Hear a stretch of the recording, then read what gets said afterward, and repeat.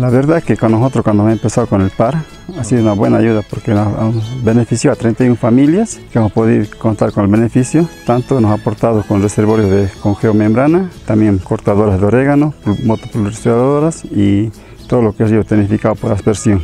Ha mejorado porque nosotros hacemos tres cortes al año, pero con ya con tecnificado ya hemos mejorado a cuatro cortes. La producción también de 3.000 kilos que producíamos, estamos produciendo 5.000 kilos por hectárea. ¿no? Inclusive ha superado porque este, este año hemos sacado 183 mil kilos de orégano de, Tarija nomás, hemos superado las metas que teníamos. ¿eh?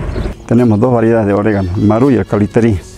La mayormente que se exporta es más el marú. Entonces, en Tarija producimos casi un 80% producimos marú, 20% calitarí. Uno de los elementos por los cuales la APOT ha visitado nuestras oficinas era con este propósito de que querían cumplir la demanda nacional e internacional y por tanto se ampliaba la superficie de, de producción. La inversión total que hemos realizado supera los 870 mil bolivianos para 39 unidades productivas.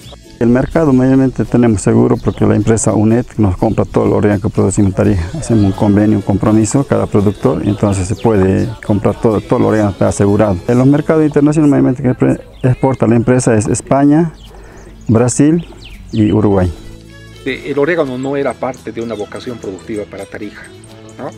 Ahora sí, a través de esta organización y de esta asociación, estamos incorporando este nuevo producto y realmente ahora a nivel nacional, por la superficie y por la capacidad que tiene la, asociación en producir eh, orégano, es referente departamental y nacional. A mí me ha parecido muy interesante el programa de apoyo del PAR, al menos en esta gestión que nosotros como productores lo vivimos y sabemos ¿no? en qué nos ayuda. Entonces, para mí, para mí que siga ayudándonos así a todos los productores, que beneficie directamente va la ayuda al productor y al campesino, ¿no? Ministerio de Desarrollo Rural y Tierras.